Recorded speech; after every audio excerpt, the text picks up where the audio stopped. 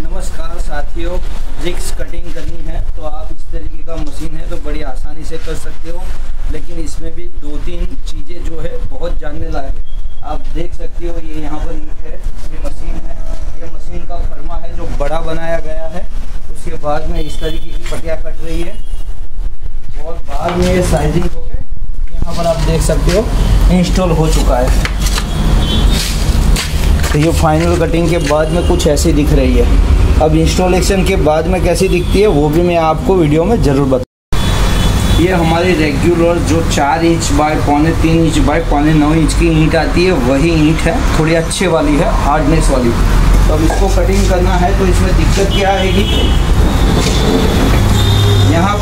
सकते हो, ये हमने 15 इंच की कटर इंस्टॉल की है। 16 इंच की भी होगी तो भी दिक्कत रहेगी। क्या आपको ये वाइसर कम बनाना पड़ेगा?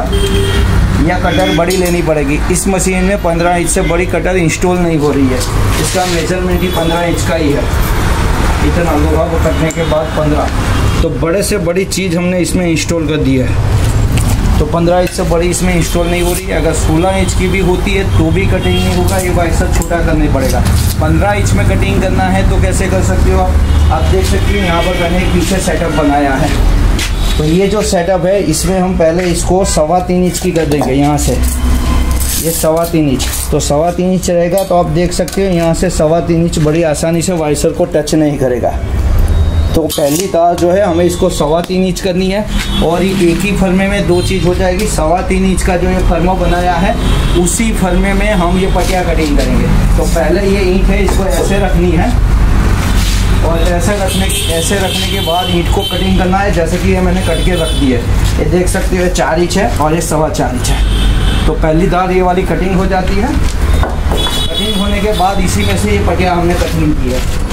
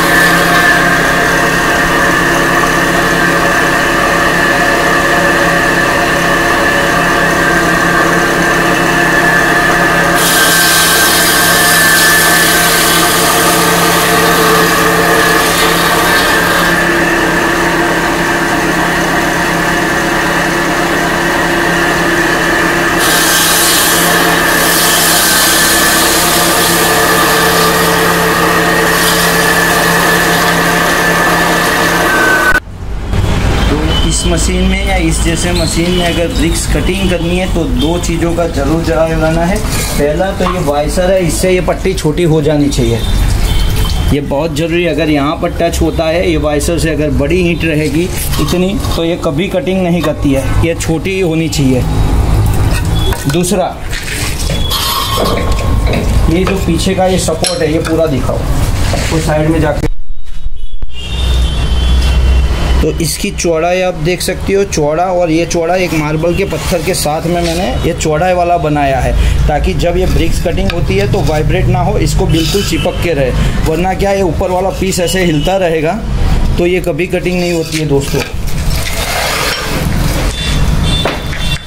तो ये वही पीस है और यहाँ पर हम दोबारा एक बार कटिंग करके अब देखेंगे। देखो, ये पीस ये बहुत इंपॉर्टेंट है। अगर ये नहीं रहेगा तो वाइब्रेशन होता है। वाइब्रेशन की वजह से ब्रिक्स बैंड कटिंग होती है। एक मेज़रमेंट में जैसे ये पटिया का माप है, ये सारी पटिया दोनों साइड से एक जैसी है। इस एक मेज़रमेंट में नहीं होगी। एक साइड बड़ी होगी, एक साइड छोटी होगी। अगर ये पत्थर नहीं लगाया तो तो ये पत्थर बहुत ज़रूरी है।